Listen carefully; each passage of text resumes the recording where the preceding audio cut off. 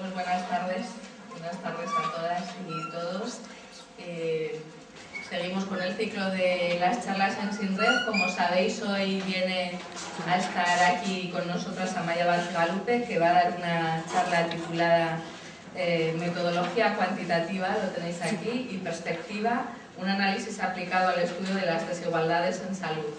Eh, Amaya trabaja en el Servicio de Estudios e Investigación Sanitaria del, Departamento de Sanidad y Consumo del Gobierno Vasco y también actualmente es profesora, da clases de, en Sociología en la Universidad del País Vasco y también en el Máster de Estudios Feministas y de Género de esa misma universidad en el área de salud siempre. ¿no?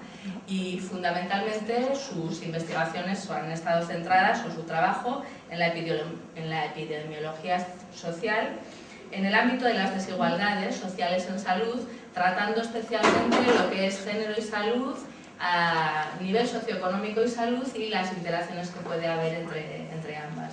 Y nada, quería recordaros que justo es la, única charla de, perspectiva de metodología cuantitativa que tenemos y si os acordáis, el año pasado ya tuvimos una experiencia sobre ella con, la conversación con Marta Luján y ella ya nos habló de, los trabajos de Amaya Lupe, así que sin más le dejamos a ella que, nos cuente y nada, venga, gracias. pues muchas gracias. Eh, nada, gracias sobre todo por invitarme la verdad es que viendo que es de las pocas sesiones que vais a tener sobre eh, investigación cuanti, pues esto me supone una responsabilidad que yo desconocía. Em, espero que, bueno, que, lo que os vaya presentando un poco colme lo que, lo, que, lo que venís un poco a escuchar y sobre todo creo que igual puede ser un espacio interesante para aclarar dudas que os puedan ir surgiendo dudas concretas sobre metodología cuanti eh, aplicada al estudio de las desigualdades de género, en este caso en el ámbito de la salud, ¿no? que es el tema que yo eh, más he trabajado y que conozco un poco. ¿no? En cualquier caso, les comentaba antes a Bárbara y a Luzma que, mm, que a pesar de que, de que el, el, guion o el, sí, como si dijéramos el guion que va un poco a hilar toda la presentación, va a ser la, el potencial que tiene la metodología cuantitativa a la hora de crear evidencias sobre desigualdades de género, en este caso, como os digo, en el campo de la salud, eh, no, he, eh, no, he, redactado, no voy a presentaros ningún apartado específico metodológico, eh, probablemente por error mío, como si dijéramos, que igual lo tenía que haber hecho, sin embargo creo que, como vais a ver, todos los datos y todas las reflexiones que yo os voy a ir explicando y exponiendo, eh, por detrás, pues bueno, eh, llevan, como os podréis imaginar, toda una, un razonamiento de cómo se construyen indicadores, de por qué utilizamos esto y no lo otro, por qué hacemos modelos de regresión y ahora estamos utilizando otro tipo de... que en cualquier momento de la charla quiero que me cortéis y me preguntéis y vamos, sin ningún tipo de problema, ¿vale? Había estructurado un poco la presentación en estos tres puntos. Me parecía importante que todos entendiéramos que, hemos llegado al estudio del, género y la salud no por casualidad, sino como casi no final de un recorrido, quizás sea un paso intermedio, pero sí un poco eh, en el contexto de, una línea de trabajo que son las desigualdades sociales en la salud. ¿no? Yo creo que al menos con cuatro datos es importante que, los veamos. ¿no? Eh, de ahí, bueno, pues ver un poco qué son las desigualdades de género en la salud, que seguro que vosotras me tenéis que aportar en esto mucho más de lo que yo os pueda aportar. Y en tercer lugar, un poco, pues de qué manera ¿no? puede un poco la investigación cuantitativa aportar conocimiento con la finalidad última, ¿no? idealmente al menos, de ayudar a reducir las desigualdades de género en salud desigualdades de género de manera más general, pero en este caso aplicado al ámbito de la salud. ¿no? Entonces, eh, solo por contextualizar un poco y porque creo que es importante ¿no? que, que, todos y todas estemos en el mismo esquema mental, ¿no? Y es que en este caso, bueno, pues el, tema que os traigo, el tema de, de, entender la salud y la enfermedad, pues lógicamente están relacionadas con un montón de factores, más allá de lo que entendemos por carga biológica, eh, la carga genético-fisiológica de las personas y, la actuación de los servicios sanitarios, que muchas veces es o son los factores con los que directamente asociamos el mejor o peor estado de salud de, las poblaciones, ¿no? dependiente de, estas variables. ¿no? Sin embargo, pues bueno, ya hace tiempo que mucha gente eh, viene exponiendo que existen factores como el nivel socioeconómico, que el nivel socioeconómico lo podemos medir de muy diversas maneras y que sobre todo en el campo de la salud se ha utilizado la clase social y el nivel de estudios para, para podernos aproximar como si fuera un proxy ¿no? de nivel socioeconómico, pero bueno, pues hay otra multitud de, factores como el lugar de, residencia, la etnia, el lugar de nacimiento y, como no, el género, que nos ayudan a entender mucho de por qué las personas eh, estamos más o menos sanas. ¿no? Eh, muchos estudios ya han puesto en evidencia que crean diferencias sistemáticas eh, y potencialmente evitables, potencialmente evitables porque están relacionadas con elementos relacionados con la estructura social y por lo tanto variables ¿no? y sujetas a cambios por políticas concretas. Eh, como digo, diferencias potencialmente evitables en la salud y en la enfermedad entre grupos que están socialmente, demográficamente o geográficamente definidos. ¿no? Entonces este es un poco el esquema que las personas que trabajamos un poco en el ámbito de la salud eh, desde esa perspectiva un poco más de epidemiología social tenemos siempre en la cabeza, ¿no? Esto es como nuestra, nuestra Biblia, ¿no? el, modelo de Dahlgren y Whitehead, ¿no? que ya lo, lo expusieron hace pues, casi 20 años y que un poco nos viene a decir que, repitiendo un poco la idea anterior, ¿no? tenemos en, en el centro del esquema a las personas, ¿no? con una serie de características que en principio son inmutables, como son la edad, su sexo y, y ciertos factores hereditarios que cada vez menos diría yo que son eh, inamovibles o, que no puedan modificarse, hasta hace relativamente poco nos hemos quedado un poco en esta primera fase de creer que la salud es producto un poco de lo que comemos, de lo que bebemos, de cuánto ejercicio hacemos, eh, de si fumamos, de este tipo de cosas, ¿no? que se han llamado estilos de vida o conductas relacionadas con la salud. ¿no?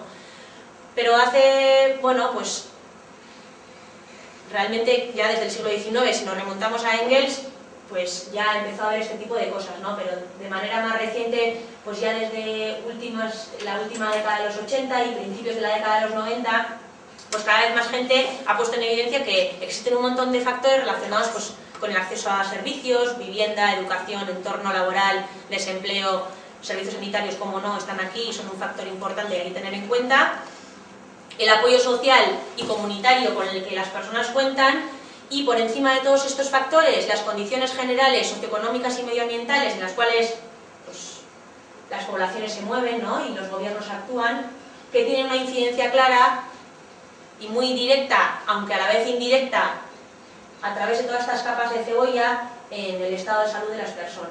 Entonces, bueno, yo creo que es importante cuando, para que en el momento en que lleguemos a, analizar un poco la, relación entre género y salud, que tengamos claro este esquema, ¿no?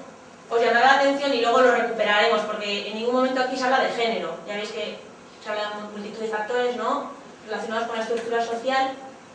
Y con esto, pues bueno, queda claro, como luego lo veremos, pues que las ciencias de la salud, las ciencias sociales también, pero las ciencias de la salud muchas veces, y hasta hace relativamente poco, han estado ciegas a al género ¿no? y la influencia que podía tener el género en la salud.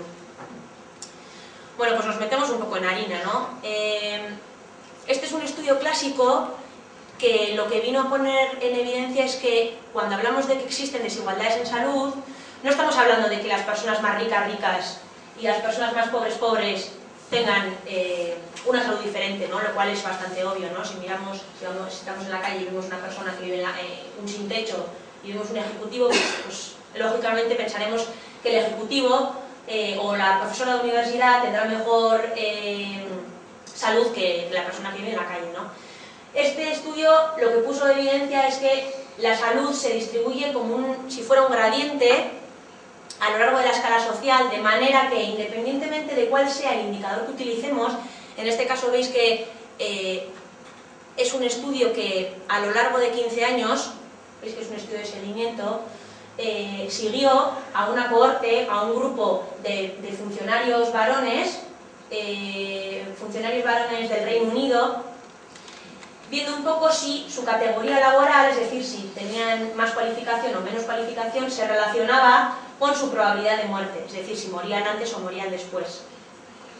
Y lo que puso de evidencia, como digo, no solo es que las personas con menos cualificación, al cabo de 17 años, este estudio luego siguió y de hecho yo creo que en la actualidad todavía sigue, incorporó a mujeres en, la cohorte, pero en, este, en, esta primera fase no. Eh, no solo que, como os digo, las personas con menos cualificación tenían una probabilidad de mortalidad acumulada mayor, es decir, morían más, morían más a los 17 años, sino que a medida que descendíamos en la escala social o descendían en la escala social, eh, la probabilidad de mortalidad era mayor. Este fue un, un estudio casi, bueno, diría yo casi un hito, ¿no?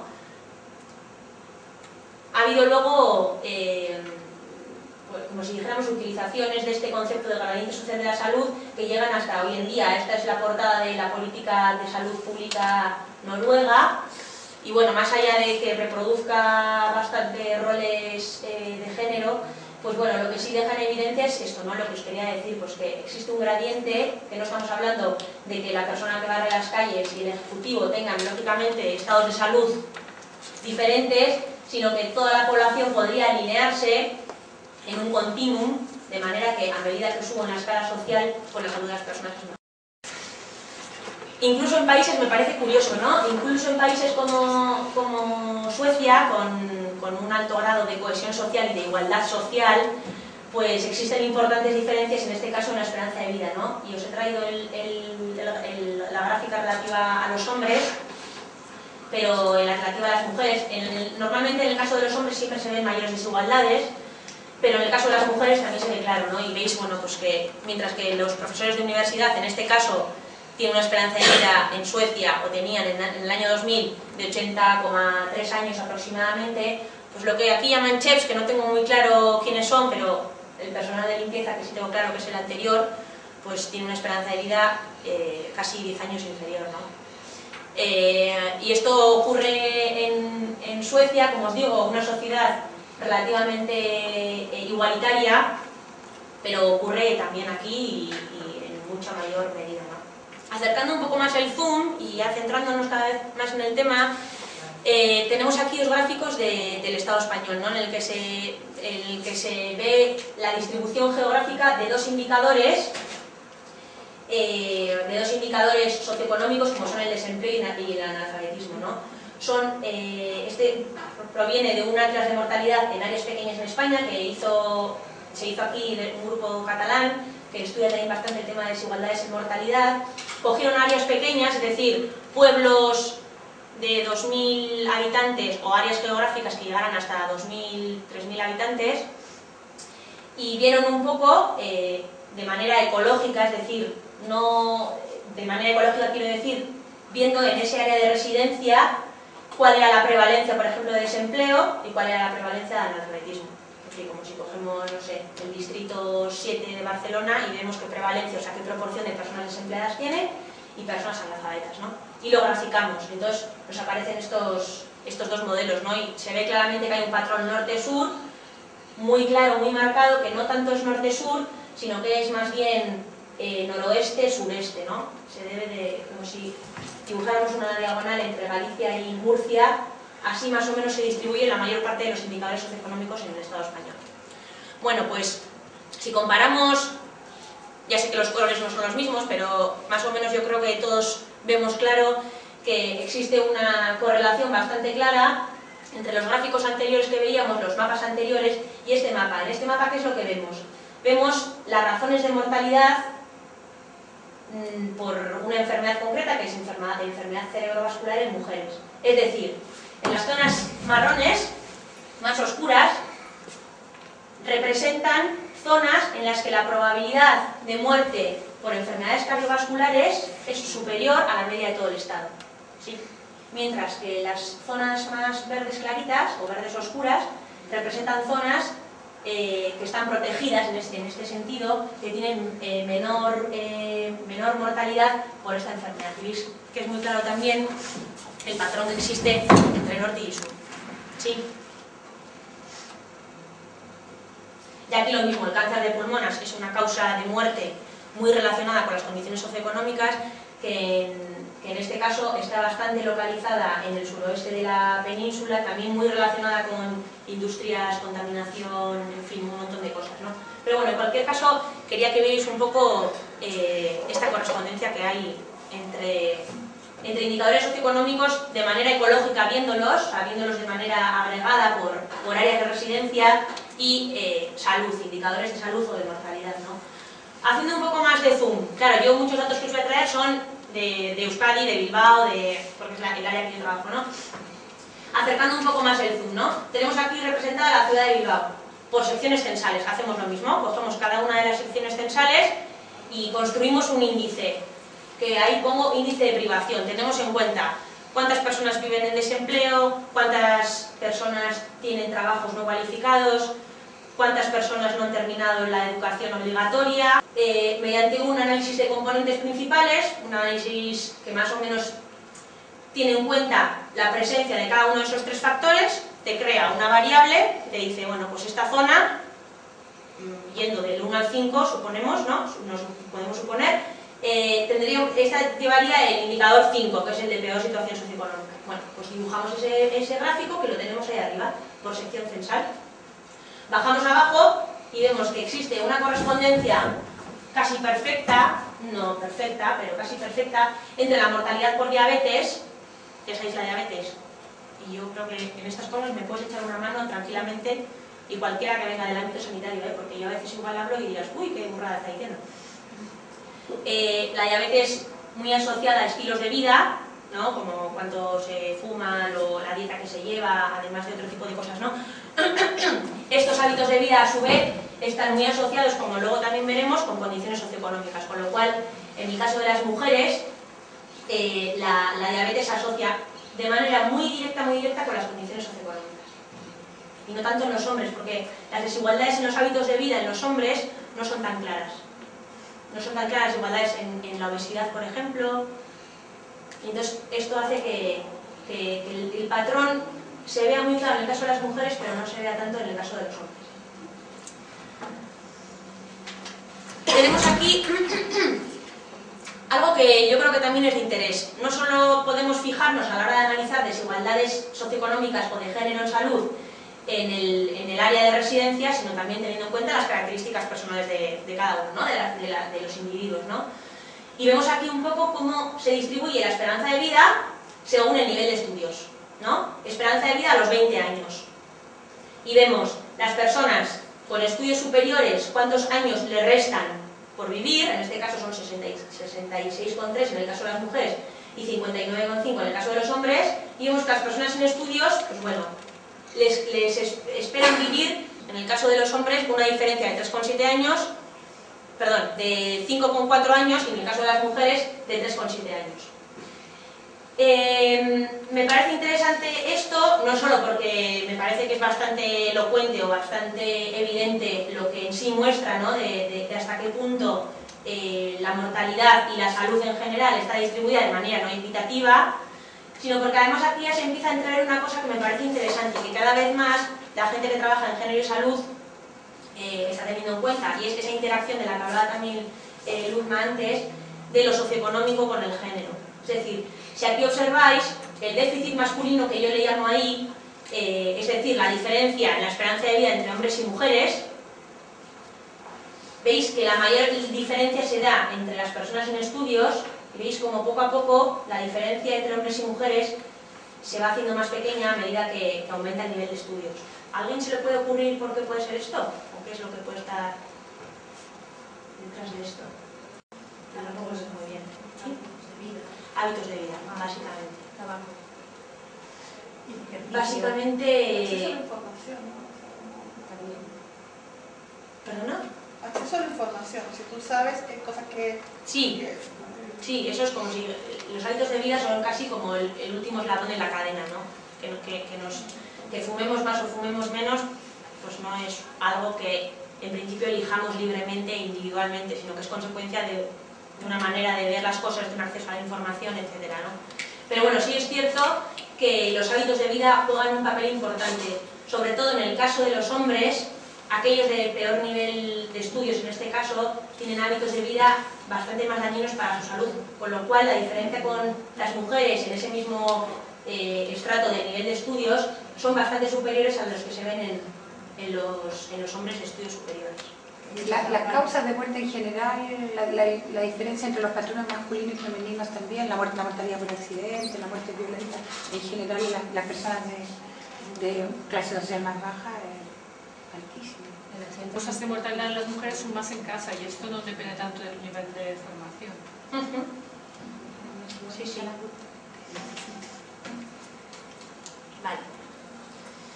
Em, si queremos un poco, bueno, no sé si la palabra es impresionar, que igual no, no impresiona, nadie se impresiona con esto, ¿no? Pero bueno, si queremos un poco poner en relación el impacto que tienen las desigualdades en la mortalidad, ¿no?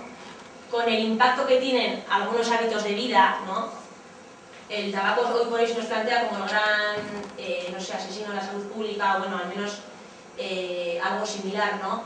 Eh, más o menos se calcula que en Euskadi, y estos son datos que hablo de Euskadi, pero probablemente en Cataluña sean muy similares, eh, la mortalidad atribuible al tabaco, es decir, ¿qué hay detrás de esto? Si todas las personas eh, de toda la población tuvieran la misma mortalidad, o sea, se, murieran con la misma frecuencia y a la misma edad que las personas que no fuman tabaco, ¿sí? Se evitarían un 13% de las muertes. Esta es una manera de interpretar esto, ¿no? Bueno, lo pongo entero para que lo veáis. O sea, es decir, la mortalidad atribuible al tabaco es un 13% de la población. Es decir, si nadie fumara, si todos muriéramos con la misma frecuencia que mueren los, los y las no fumadores y fumadoras, se evitaría un 13% de las muertes, lo cual, bueno, son un montón de muertes. En términos absolutos no lo sé, pero en términos relativos un 13% ya me parece algo a destacar, ¿no? Si este mismo ejercicio, que a los epidemiólogos puros les sirve mucho para hablarnos del impacto que tienen, como os digo, muchos hábitos de vida en la salud, lo hiciéramos con, eh, determinadas características socioeconómicas como el nivel de estudios, pues obten- obtendríamos ese dato. Eh, es decir, que si todas las personas muriéramos con la misma frecuencia y a la misma edad que mueren las personas de nivel superior, de nivel de estudio superior, en Euskadi, en el periodo desde 1996 a 2001, se hubieran evitado el 16% de las muertes. Con lo cual, pues bueno, en fin, sí que es cierto también que dentro de ese 16%, por eso digo que tiene truco, pero todo tiene truco, que a veces no, la metodología cuantitativa se nos presenta como el paradigma de la objetividad y yo creo que no hace falta ni decirlo que muchísimo menos, no todos los a prioris que quedan ahí en la trastienda y que nadie los rescata, pues porque no conviene, ¿no? Pues están ahí, ¿no? Y este es uno sin importancia, pero mucho de ese efecto del 16% es a través de que justamente las personas de mayor nivel de estudios fuman menos y las personas de, menor nivel de estudios fuman más. Con lo cual, sí que es cierto que dentro de ese 16% ya está formando parte algo de ese 13%. Sí, más o menos se entiende, ¿no?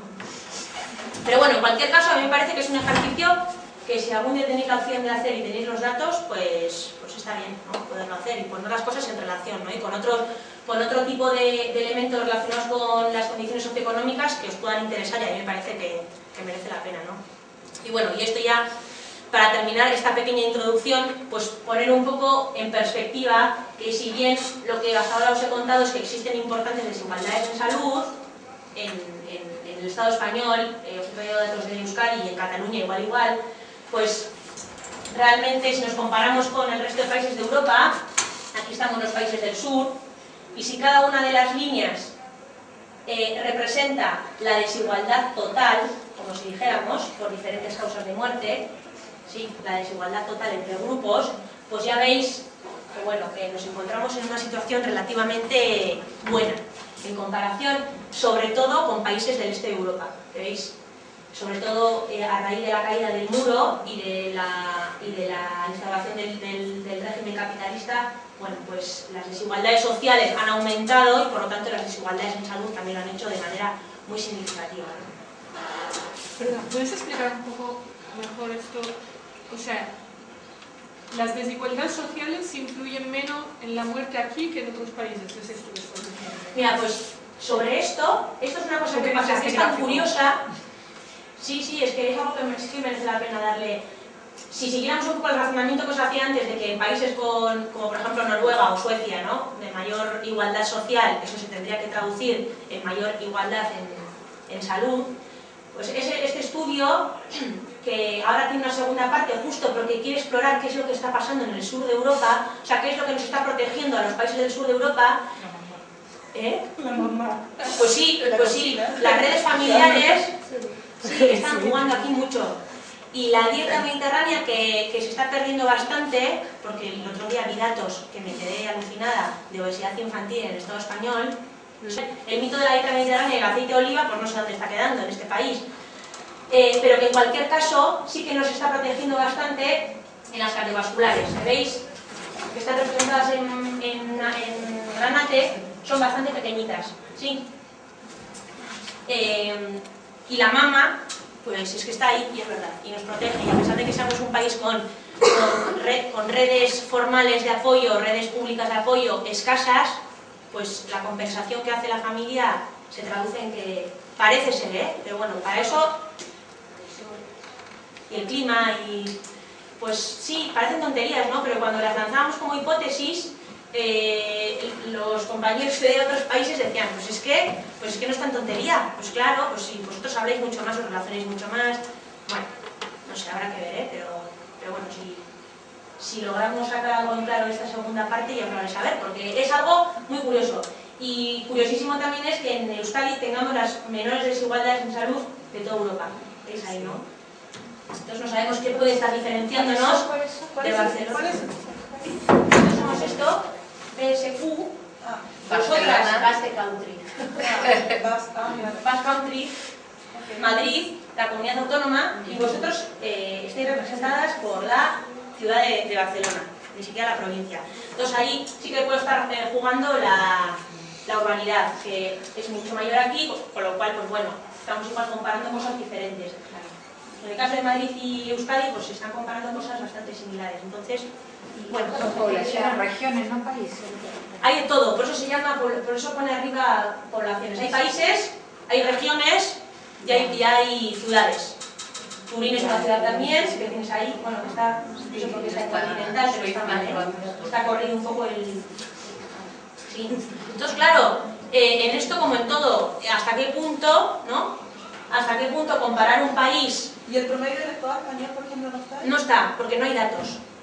No hay datos. una pregunta, ¿la, la equidad en el acceso a los servicios de salud, por ejemplo, que los servicios de salud la seguridad social, por ejemplo, en Euskadi funciona, el sistema de salud funciona muy bien, en Cataluña está medio privatizado. Sí, eh, hasta lo que yo sé, En Madrid estaban, era totalmente público, hasta ahora se está empezando a privatizar con la Aguirre. sí, sí, sí, hay un montón de... eh, Es más, equitativo el acceso si todo es público. Sí, en, en Euskadi sí. Deben de jugar cosas como cosas más históricas como eh, la, mayor extensión de redes como la renta básica. No solo en extensión, sino en tiempo, eh, que ha cubierto más gente. Eh, bueno, no sabemos hasta qué punto políticas sociales que en Euskadi, bueno, pues desde la década de los 80 han venido como siendo, ¿cómo se dice?, bandera de, en fin, como, no sé cómo llamarlo, ¿no? De, de- del gobierno que hemos tenido durante veintitantos años, pues no sabemos hasta qué punto puede haber protegido de manera que observemos las menores desigualdades. No sabemos, no sabemos. no. Pero bueno, lo que, lo que sí me parece, metodológicamente hablando, lo que sí me parece interesante es que, que tengamos cuidado, porque no sería lo mismo comparar el Estado español con Hungría que comparar Euskadi con Hungría, como no sería lo mismo comparar la ciudad más rica dentro de Suecia con el País Vasco que todo Suecia con el País Vasco. O comparar solo la población inmigrante, por ejemplo, por cada una de esas regiones. Se cambia radicalmente porque Sí, sí, sí, seguro. Hombre, esta no era la intención, eh, poner el ojo en, esa, en, en ese criterio de desigualdad, en ese eje, pero, pero bueno, quiero decir que, que está bien, que nos vemos bien retratados, pero cuidado con lo que estamos comparando, claro. Y esto, o sea, eso que os habéis centrado en diferentes eh, partes es porque aquí no había datos No hay datos, no hay datos. y en los otros no había datos por. Eh, no, la lógica fue otra. La lógica fue que era un estudio de países, como se quiso que entraran países del sur de Europa, y no tenemos... Para hacer esto tienes que enlazar datos de mortalidad, ¿no? el registro de mortalidad, con datos socioeconómicos que normalmente vienen del censo. Entonces hay que hacer ese enlace para saber eh, la persona X que se ha muerto, qué características socioeconómicas tenía, ¿no? y por qué se ha muerto. De manera que tú puedas calcular cuánto más se han muerto los que peores condiciones socioeconómicas tenían en relación a los que mejores condiciones socioeconómicas tenían aquí y en Bratislava, ¿no? Esa es la idea. En el Estado español no hay datos nacionales eh, de enlace de registros. Si los hay, en Barcelona tenéis el, el, de hace un montón de años, nosotros hemos trabajado los últimos años y ya tenemos una serie histórica bastante maja y en Madrid también. Entonces la lógica ha sido esa, no ha sido otra más que que aquí no había otra manera de incluirnos si no era por de manera más ¿En otros global. países sí que están? Sí, sí, sí, deben estar, sí. Pero entonces esto también influye, porque claro, Barcelona, Madrid y el País Vasco no son las regiones más pobres de España. claro, Sí, sí, por eso digo, ¿eh? Preocupación por este tema también. Son las que han mostrado más preocupación por este tema también hace tiempo. ¿no? Sí, sí, sí. Pero bueno, Bueno, si por Andalucía, renta también, Andalucía no tiene No. servicio. no tiene datos... Bueno, no, a ver, hoy esto terminó en 2000... Terminó la recogida de datos en 2000, creo. Probablemente ahora ya sí, no lo sé, ¿eh? Eh, pero bueno, que no solo es cuestión de renta per cápita, porque si no, sí que en Suecia, cualquier país del norte de Europa o del centro de Europa tendría que tener mejores datos de los que, de los que tiene el sur de Europa, ¿no? Aunque se comparen ciudades ricas dentro, de Europa, dentro del sur. En fin, que, que es un poco... En las ciencias de la salud, sobre todo, pero las ciencias sociales también han sido mucho más sensibles a intentar analizar un poco qué pasaba con las desigualdades socioeconómicas que con las desigualdades de género, ¿no? Y las ciencias, en ciencias sociales, pues, pues no hace falta más que hacer un repaso a los paradigmas teóricos más relevantes del siglo XX y de hoy en día, que el género, pues bueno, pues aparece un poco de manera mm, secundaria, tangencial, si no son eh, paradigmas eh, feministas que tienen justamente esa orientación, ¿no? Y en ciencias de la salud, pues lo mismo, el modelo biomédico más estrecho, como si dijéramos, pues ha sido muy resistente a incorporar el eje de género, ¿no? Y yo tengo la hipótesis, bueno, yo no, vamos, eh, supongo que tendrá algo que ver con que en salud la intersección o la interacción que existe entre el sexo y el género, es decir, dónde termina el sexo y dónde empieza el género, pues probablemente sea más problemática que saber dónde termina eh, el nivel de estudios y dónde empieza el, el- características más biológicas, ¿no? Yo creo que es algo, además yo creo cuestiones ideológicas de resistencias patriarcales, sin duda, vamos, porque sí que hace, ¿no? Que, que no se sepa bien dónde termina lo biológico y lo social y, y el sexo y el género y que- el género y sexo, en fin. Entonces, eh, bueno, yo creo que han sido bastante, estas ciencias han sido bastante ciegas hasta ahora, ¿no? Es pues, el- uno de los primeros sociólogos de renombre importantes de principios del siglo XX, muy influyente en lo que luego fue todo el funcionalismo eh, de todo el siglo XX, y Durkheim, eh, una de las cosas que le interesó ver es si el suicidio, que es una pauta tan individual, tan privada casi, ¿no? El decidir si uno o una eh, se tira por el balcón o no se tira, si eso tenía alguna relación con las características socioculturales de, de- contextos concretos, ¿no? de sociedades concretas. Y lo quiso relacionar con el nivel de integración que tenían las personas y el nivel de cohesión social o de regulación que existía en tales sociedades, ¿no? y ver un poco si había patrones diferentes. ¿no? Y para no entretenerme, concluyó que, sí, que claramente él describió cuatro tipos de suicidio, que no me acuerdo muy bien, el suicidio anómico, el fatalista, el egoísta... Nadie, ¿no? Demasiado. Eh, describió cuatro tipos de, suicidio, el que más le importó es el suicidio anómico, que llamó, ¿no? El que, se, el que se da en contextos en los que falta regulación social o cohesión social. Por ejemplo, cambios de, sistema, por ejemplo, eh, cambio de sistema comunista capitalista, o cuando faltan las redes sociales, ¿no? Cuando las redes sociales son, son débiles. Entonces, él incluyó que el, que el matrimonio era un factor protector contra el suicidio, pues porque al final integra a las personas en, un, en, una, en una red emotiva y, social y, y familiar fuerte, ¿no? ¿Cuál es la sorpresa de Durkheim cuando se da cuenta de que es cierto que el matrimonio protege, pero no protege de la misma manera en el caso de los hombres y en el caso de las mujeres? Y ahí el, el, el tema cuando, cuando, pues eso, cuando descubre que en aquellos contextos en los que el divorcio, la posibilidad de divorciarse es más compleja, no hay tanto acceso al divorcio, las mujeres se suicidan más. En, ca en, cambio, en el caso de los hombres, en aquellos contextos en el que el divorcio es más accesible, se suicidan más. ¿Qué resolvería esto, no? Dijo, ah, esto, la anomalía, una excepción a la norma. La norma es lo que pasa en el caso de los hombres, y esto es la, la anomalía del, del, perfil de suicidio matrimonial, ¿no? Y es esta desviación de las mujeres de la, de la normalidad social que descubrió en su momento, ¿no? Claro, él decía, realmente las mujeres se encuentran en un, en un estado presocial, no son capaces de vivir con tanta ligazón social, entonces se ven agobiadas y se suicidan, ¿no? No son capaces de aguantarlo, pero porque están en este estado presocial, con lo cual esperemos un tiempo, y él lo dice así, ¿eh? No, no, no es cosa mía, ¿eh? Ahora, esto no lo vais a encontrar en el, el libro que describe todo esto muy bien y que es súper chulo el libro, se llama El suicidio, pero esto no aparece en el suicidio, claro. Esto aparece en un texto que es muy bonito de... Yo creo que es de Inés Alberdi, no estoy segura. Pero bueno, que ella le da esta lectura, ¿no? Y al final, pues él lo que dice es eso, pues eh, no puede... Eh, Durkheim al final decide por...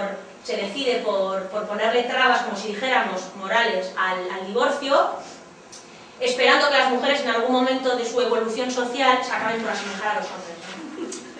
Bueno, todo esto os cuento pues porque, joder, es que Kenny Durkheim. O sea, que, que, es que al final el que nos ha un poco alimentado eh, la cabeza a los sociólogos y sociólogas, pues te das cuenta de que, en fin. En el caso de las ciencias de la salud, pues lo que os decía antes, pues ¿dónde está el género, no? Tanto Biblia con Darwin y Whitehead y resulta que el género no está. Pues es que no está. Eh, hay modelos más nuevos uno que ahora hace un año y medio así ha sacado de la OMS, que no voy a entrar, pero que sí que quiero que veáis un poco, pues ya al menos aparece. Dentro de un cuadro y un subcuadro y compartiendo el espacio con otros tres criterios que probablemente poco tengan que ver, pero bueno, el género ahí está, por lo menos es, algo, un criterio que hay que empezar a tener en cuenta, ¿no? A la hora de entender la salud y cómo se, cómo se distribuye la salud de manera más o menos equitativa en, en, en las poblaciones, ¿no? Vale.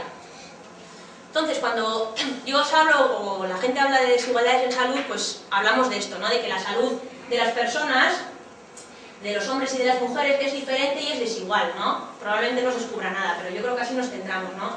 ¿En qué sentido es diferente? Pues en que existen factores biológicos que determinan el funcionamiento y riesgo de enfermar de los cuerpos de las personas. Hay morbilidad que es masculina y morbilidad que es femenina. Nosotras no morimos de cáncer de, de próstata, y ellos apenas mueren de cáncer de mama, ¿no? O de ovarios, nadie. Sin embargo, pues la salud de hombres y mujeres es también desigual, ¿no? Y tiene que ver con que, bueno, pues que existen condicionantes sociales definidos por las relaciones y las jerarquías de género influyen de manera injusta sobre la salud de, de hombres y mujeres, ¿no? Y particularmente de, de las mujeres. ¿Sí? ¿Hasta ahora bien? ¿Tenéis alguna duda o algún comentario o algo? ¿No? Vale. Entonces, ¿cómo lo entendemos? Y esto sí que no me voy a meter porque sé que me dais mil vueltas, pero hay como si dijéramos a la hora de entender el estado de salud, eh, hay como si dijéramos dos, dos, dos, dos factores que hay que tener en cuenta, ¿no?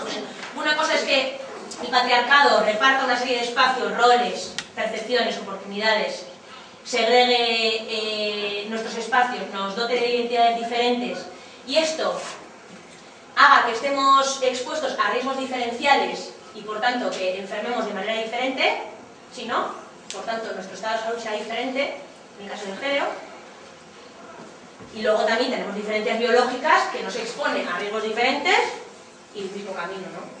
Pero es que además, y aquí está un poco el tema de, lo que podría ser el, el, que me parece muy interesante y que se ha explorado un poco, aunque ya cada vez más, eh, los sistemas sanitarios, ¿qué está pasando con, cómo están actuando los sistemas sanitarios, ¿no? Pues es que no cabe duda que por muy lo que le contaba antes a ella, en el máster este año, pues tuve dos enfermeras de Osakidecha que, con las que realmente tuve rifirrafes importantes porque se pensaron que, era imposible, es que no cabía en su manera de concebir, y no sé aquí qué te pasará, ¿eh? igual también, pero me sorprendió su manera de concebir el sistema de salud y cómo atiende el sistema de salud a las personas, que no se creía que estuviera sujeto a todo esto, y que esto creará desigualdades.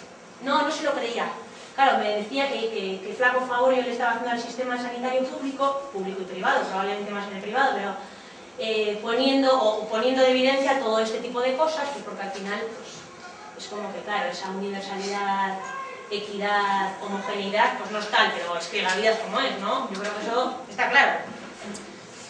Entonces, la investigación en salud, la investigación de corte epidemiológico más clásico, la epidemiología es la ciencia dentro de las ciencias de la salud que se dedica un poco a estudiar la salud de las poblaciones, ¿no? Seguro que sabéis, eh, cómo evoluciona, si cambia, eh, todo esto, ¿no? Entonces, básicamente lo que se ha dedicado es ver esto, ¿no? O sea, qué diferencias biológicas me exponen a mí a, a, a determinados riesgos y esto cómo me hace enfermar, ¿no? Cada vez más, aunque todavía bastante incipiente, la investigación de género en salud, lógicamente, se ha, se ha centrado en esta columna de la izquierda, ¿no? Y yo diría que ha tenido dos caminos, ¿no? Uno de los caminos, o dos líneas de trabajo. Uno de, los, de las líneas de trabajo justamente ha sido esta, la de los sesgos en, la de los sesgos en la atención sanitaria, ¿no? Y el otro camino ha sido, bueno, pues de qué manera los roles que cumplimos las personas, los estereotipos que existen sobre qué roles cumplimos las personas y cómo los debemos cumplir, qué tipo de trabajos hacemos cada una de las personas, todo esto en función de sexo, eh, es decir, el género, de qué manera nos expone a riesgos diferenciales y nos hace enfermar de manera diferente, ¿no? Entonces a mí me gustaría explorar estas dos vías y, y para que veáis un poco qué es lo que da de sí, en este caso, la investigación cuanti, y qué es lo que no da de sí. Eh, bueno, sin más, ¿no? Pues es que hay exposiciones que son de género, es decir, el hecho de que ahora las mujeres, eh, desde hace ya tiempo, pero en estas últimas encuestas de salud parece claro que las mujeres jóvenes han pasado a fumar más que los hombres jóvenes, y que esto no fuera así hace 50 años, pues no es una exposición de sexo, ¿no? Nada que ver tiene con el sexo, tiene que ver mucho con el género, ¿no? Que es lo que nosotros creemos que está asociado a, a, valores de libertad, de igualdad con el sexo masculino, etcétera, etcétera, y cómo vamos accediendo poco a poco a hábitos de vida poco saludables para nosotras, ¿no? Y os traía un poco así esto que a mí me parece que es bastante bonito porque en una, en una eh, perspectiva temporal de, de 20 años lo que se ve es primero que la prevalencia, aquí se ve la prevalencia o proporción de personas que fuman, ¿no? A lo largo del tiempo, en Euskadi, de 1986 a 2007. Hombres, mujeres. Pero cada uno de los grupitos estos está dividido por clase social, ¿no? ¿Os imagináis, no? La encuesta de salud te pregunta, ¿usted fuma? Sí, no. ¿Cuánto fuma? Pues todos los días, pues están aquí, ¿no? Estos son fumadores habituales. Eh, ¿Usted en qué trabaja? Pues en tal. Eh, ¿Qué cargo tiene? Tal. Pues me asignan una clase social o grupo socioeconómico, ¿no? Entonces, se ve claramente que en el caso de los hombres la prevalencia o proporción de personas fumadoras ha descendido y hay una cosa muy curiosa que ya viene pasando en países del norte de Europa y que nosotros llevamos un, un decalaje de unos 20 o 30 años, la gente del sur de Europa, y es que en el 86 no había ningún patrón socioeconómico, como si dijéramos, en el caso de los hombres, ¿veis, no? que fumaban, bueno, pues aleatoriamente unos más que otros, y que en el 2007 se ha ido formando este patrón claro, ¿no? Claro, clarísimo, que a medida que desciende la clase social, aumenta el número de personas fumadoras, ¿no? Y en el caso de las mujeres, ¿qué se ve? Pues que el, consumo de tabaco no ha descendido, sino que ha aumentado un poco, ahora parece que se ha estabilizado, que hemos llegado al pico de la epidemia y que, y que dentro de poco volverá a descender, tal y como ha hecho en los hombres, pero nosotras las mujeres también vamos alrededor de 20 o 30 años de retraso con respecto al perfil masculino, eh, pues vemos un poco eso, ¿no? que parece que no existe ningún patrón socioeconómico y yo me temo que en la próxima encuesta de salud, si tuviéramos aquí la de 2012, pues probablemente ya observemos este patrón socioeconómico en el consumo de tabaco. ¿no? Y, bueno, y, desde el punto de vista de las políticas públicas, que ya no viene el caso, pero yo digo, joder, si es que esto era más previsible que, que no sé, sitios. O sea, esta es la difusión de la epidemia del tabaquismo por género y, eh, y nivel socioeconómico y ha ocurrido en todos los países de Europa. Solo faltábamos de recorrerlo nosotros, ¿no? Y no hemos sido capaces de evitar que se formara ese patrón de, de distribución injusta, tanto en el caso de los hombres como ocurrirá en el caso de las mujeres. En el ámbito de la salud, particularmente, igual en el ámbito de las ciencias sociales, estamos, bueno, igual no, seguro, eh, estamos más limitadas. Mm, tampoco sé exactamente por qué, porque hay tipos de análisis o tipos de diseños que en ciencias de la salud se han utilizado mucho, que igual en ciencias sociales también podríamos utilizar. Pero bueno, en cualquier caso, en ciencias de la salud eh, tenemos una variedad de, de, diseños que nos pueden ser muy útiles para poner de evidencia pues, lo que queremos poner de evidencia. Que la salud de hombres y mujeres no es igual y que el género es un factor fundamental que tenemos que tener en cuenta. ¿no? Eh, tenemos estudios que tampoco quiero entrar, porque esto yo creo que es demasiado eh, centrado o específico del tema de ciencias de la salud, pero bueno, tenemos estudios observacionales que se diferencian de los estudios experimentales. En los estudios experimentales lo que hacemos es controlar, es decir, podemos coger a dos, a dos grupos de personas, a uno les exponemos a una cosa, a un medicamento, que es el ejemplo, a otro grupo de personas no les exponemos, ¿no? Y vemos el efecto que tiene, pues en, este caso concreto, un medicamento, por ejemplo, ¿no? Eso los, los ensayos clínicos. Luego hay otros que son cuasi experimentales, que, bueno, no manipulas todo, en fin, tampoco tiene mucha importancia, ¿no? Y luego tenemos los estudios observacionales, que en ciencias sociales pues son la mayor parte de ellos, porque nosotros no podemos obligar, pues no sé, a que una mujer trabaje más o menos en casa para poderla comparar con una mujer que trabaja todo en casa y poder hacerles un seguimiento para ver, no sé, pues qué estado de salud tienen al cabo de 10 años, ¿no? Por poner un ejemplo tonto. No podemos manipular a las personas, no podemos en el sentido de, de elegir quiénes están expuestas y quiénes no están expuestas, ¿no? Entonces, por eso normalmente desde ciencias sociales y también desde, desde, la epidemiología social, utilizamos mucho estudios transversales, que son básicamente las encuestas, que no tienen que ser de base poblacional, o sea, hay encuestas como la encuesta de salud de las diferentes comunidades autónomas o la encuesta nacional de salud, que hace entrevistas de 8.000 a 12.000 personas, es decir, con una muestra muy potente para poder estar bastante seguros y seguras de que cuando decimos que la población ha envejecido o cuando decimos que la población tiene más trastornos crónicos, realmente los tiene, pero pueden ser encuestas que hagamos ad hoc, ¿no? Y aparte de esos, pues tenemos los estudios de cohortes, que son, en cierta forma, parecidos a estos ensayos clínicos que os decía, que yo a una persona le doy una pastilla y a otra le doy un placebo, pero en este caso, pues imaginaros, no sé, eh, un grupo de mujeres que unas acuden a la educación maternal, por poner un ejemplo que se me ocurre, y otro grupo de mujeres que no acude a la educación maternal. Vamos a seguirlas y vamos a ver si en el parto existen diferencias en cuanto a satisfacción, en cuanto a tasa de episiotomía, en cuanto a lo que sea, ¿no? Eh, o hagamos lo contrario, vamos a los casos controles y veamos, imaginaos, eh, mujeres que han dado a luz, ¿no?